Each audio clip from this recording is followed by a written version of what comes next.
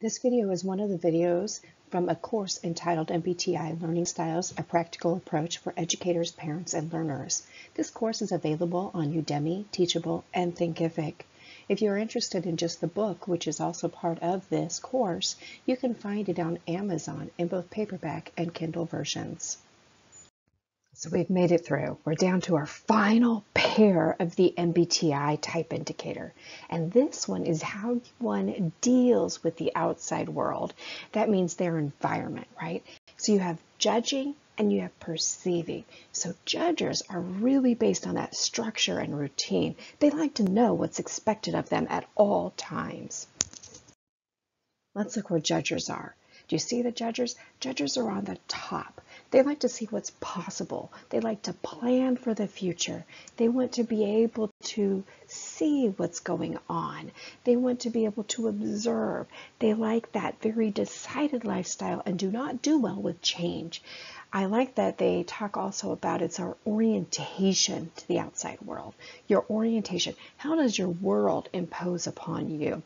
Do you want it to be orderly or are you quick to action?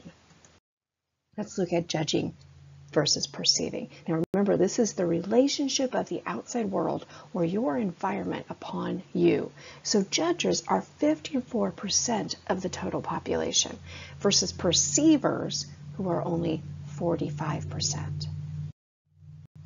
What is the key word? Overachieving learner. So as you can imagine, an overachieving learner, this is going to be that student that excels in a traditional classroom. This is going to be that learner that all teachers want in their classroom because they're just easy. So what is their question though? How does this create order in my life? It's how can you use it and how can you create order? How can you do some planning? How can it really benefit you and aid? That's the major thing that they're looking at. So the learning style. We're taking now all of these things and let's put it into a concise paragraph or two. And let's concisely discuss what it means. So our judges focus on rules and order. That's most important to them. So they need organization. So if you were to build a house for a judger, the very bottom foundation is rules, orders, organization, routine. That's what they want. They are self-regimented. They are task-oriented. These are the people that walk around with their planners, right? Because they've already created a very intricate and difficult and structured study plan and they're going to you know do it no matter what but they also have to avoid emergencies so one assignment will be completed completely before they will even start another. If they have too many deadlines, they're really, really going to be overwhelmed. However, why is that? It's because those deadlines are really sacred to the judges. They cannot be late, absolutely cannot be late. So as soon as a judger gets an assignment, they're going to be very quickly run out the door and they're going to start taking action on it right away. They want it done. These are not procrastinators. Absolutely not. Now remember that judges are going to answer the question based on their current knowledge. Ah, so what happens if they don't have the knowledge they need to be able to answer the question? Well, that's part of the difficult piece for judges. They're going to need to acquire more knowledge in order to tie up those loose ends. A cognitive environment. Can you imagine what it's going to look like for a judger? A cognitive environment for a judger is exactly what you see in the picture. Order, control, tradition. Easy, right? And it is easy for the instructor who likes that kind of classroom. They need those objectives, they need those rubrics. Those things are essential to their learning process. And since they don't like surprises, they need detailed instructions. They do not want anything to derail their learning process. Again, structure, right? Now, they can participate in a group atmosphere if they need to, or a more interactive atmosphere, but they would need to have some highly specified guidelines so that they can create efficiency and order as required. For teachers, what does this mean? Wow, This means that you need to give some firm deadlines. Now, judges, there's one thing that's going to drive them insane, and that's when you give a firm deadline, but then you have that one procrastinator on the side and you decide to change the deadline to meet the needs of the procrastinator. It's going to really infuriate your judger. So also, remember, don't put excessive deadlines on top of each other. It's just going to absolutely frustrate this learner and completely upset their entire learning process. So you want to scatter them out just a little bit further. So you may want to say, we have a project due and a test, but let's not put them on the same day. Having them on the same day would really absolutely exasperate a judger. Use your Bloom's taxonomy to discover and to develop your objectives. Bloom's taxonomy is very, very essential, and it is a great resource for this kind of learner. So you want to encourage planning. Not only do you want to encourage planning, but be sure that you provide time during class for your judges to plan. Make sure that they have the ability and the resources they need to complete the assignments. That also means giving them the information knowledge they need to fill in their information gap between what they know and what they need to know in order to complete any assignments. Allow them ample opportunity to ask questions about any assignments and expectations.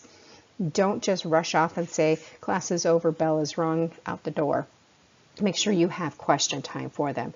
If you have run out of time for them to ask questions about assignments or expectations, be sure that you give them an opportunity to meet with you. Maybe that's office hours or your contact information.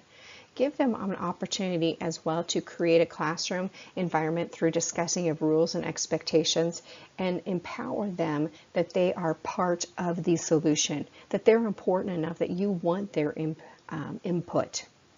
Again, avoid surprises. That is just the most important thing of anything for judges. You surprise them and you've lost them. No surprises. Stick to traditional teaching. Now, also, this learner is going to feel most fulfilled when things are done correctly. What does that mean, done correctly? Done correctly is whatever they have built in their mind and what they have envisioned as being done correctly. That's going to be no errors, no surprises, uh, do not change your deadlines, things like that. Those are ways in which things need to be done correctly for this type of a learner. What if you are a judger? How can you use these things and use your judging preference as you approach your world to really be a strength in learning? First and foremost is remember that planning. Always, always, always planning. Be sure that you recognize that you need decisiveness. Ask questions. Make sure you understand everything, exactly what is needed. And if necessary, even say, excuse me, is there a rubric for this? Can you please give me the rubric? How will I be graded on that?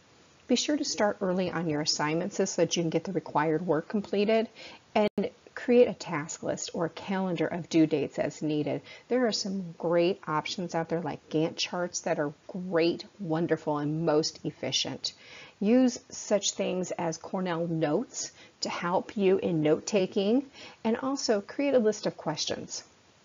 Before you walk into a learning situation, you want to sit down and say, this class is going to be on how to set goals. What are questions that might be related to that? And approach that as an independent learning situation. You want to be able to say that you are empowered with what you need. If you are stuck in a situation where you might have to be working with a group or a partner, be sure that you set up all of the expectations and the roles, the guidelines, and the tasks that each of those people are going to need to complete more than anything is just be patient. Be patient with other learners.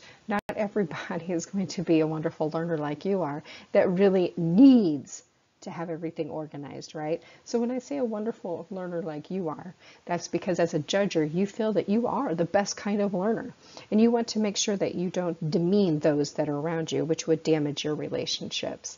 Be sure to also take time to really investigate and learn what is it that helps you to learn best.